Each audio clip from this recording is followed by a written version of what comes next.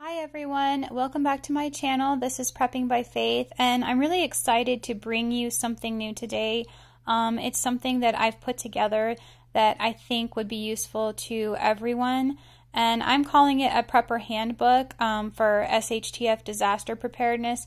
You guys can rename it something else um, if you want to just call it an emergency guidebook or something like that. That's up to you. But what I'm doing is I have put everything in here that I think would be good for you to prioritize in the event of an SHTF. Um, I think a lot of us would react poorly in an SHTF situation. We may begin to panic. We're not going to be thinking clearly. And so I feel like this would be a good way for us to have everything in one location. Just grab this book and then you're going to have your list and know exactly what it is that you need to start doing depending on what the um, event is. So I'm just going to give you a quick overview of this book. You are going to see this book again in um, future videos as I go over some of these things in depth, but today I just kind of wanted to introduce it to you and get you guys thinking about something that maybe you guys could create um, maybe looking at this as a template for something that you want to do for your families. Um, I have a table of contents in here. I have a section for prepping for chaos in the streets, um, one on prepping for nuclear attack, one on prepping for bugging out for local and national threats, and I've broken those down into a couple of categories there. For us here in Colorado, our greatest local threat would be a fire. Yours may be something different. Um, it could be a tornado, or it could be um, a hurricane. I don't know. Um, in the event that you would have to leave your home, most of you are probably going to be bugging in for those, though. I also have on here a national threat, like um, in a situation where the chaos is so great that you can't save your home and you need to leave. I have um, a section on prepping for a natural disaster bugging in, and then ours um, would be a personal prep for us is um, snowstorms here. Most cases, they're all going to involve um, some sort of uh, utility disruption though, so that's why I have that section in here. You guys can tailor it to your needs. And then I have put in here some quick tabs. So I have, I can get to these sections a lot faster. I have um, the chaos, all of these are just kind of labeled so you can flip to each one. Um, but I kind of wanted to show you what I've done and we're not going to go over each of these like i said we'll talk about them later but i have prioritized the order of events that we would need to um, do things in in our home.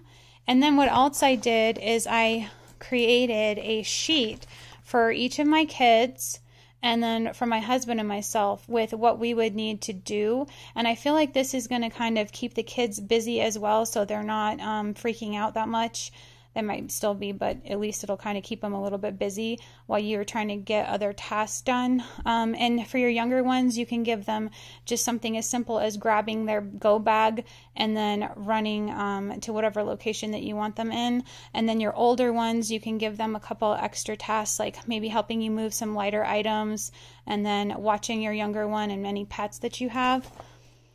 And then after we get out of these sections, I also put another couple of sections in the back for you guys.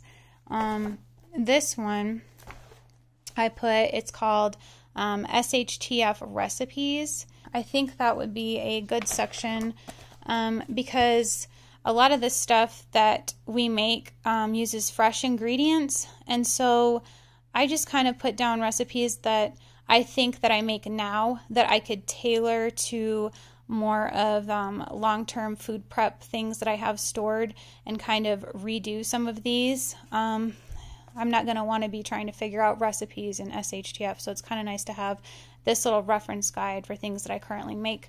I also put, um, there's a couple other ones in here. This thing is going to be growing with me. I'm definitely going to be adding things as we go along.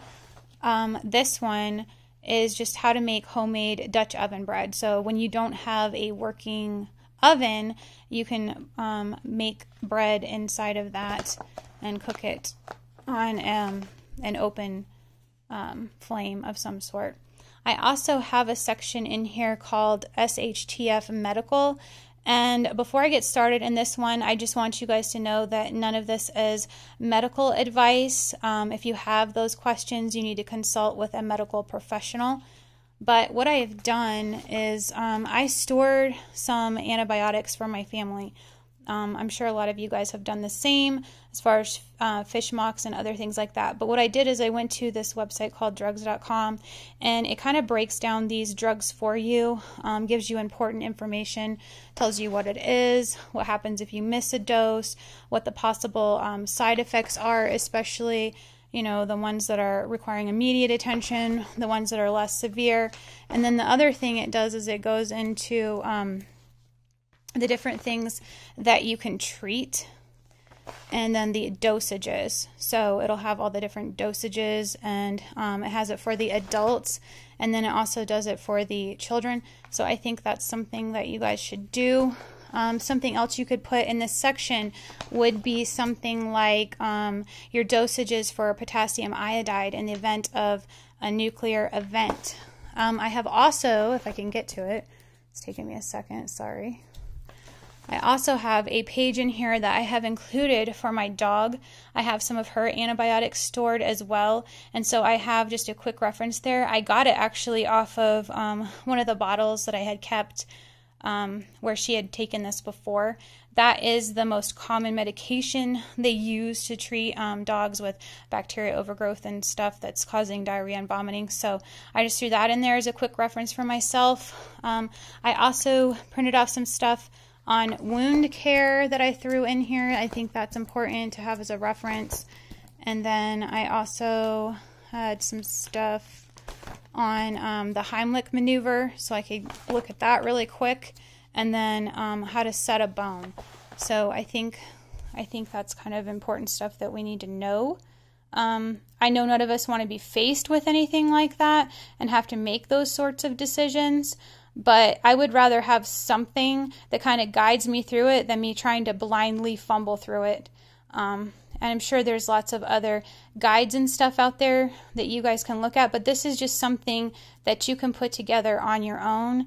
And I feel like it's a good jumping off place for you guys, something to get you guys thinking about, um, and that we should all have in our preparedness package. Um, if you've learned something from this video, please like, share, and subscribe to my channel. Thank you, and God bless.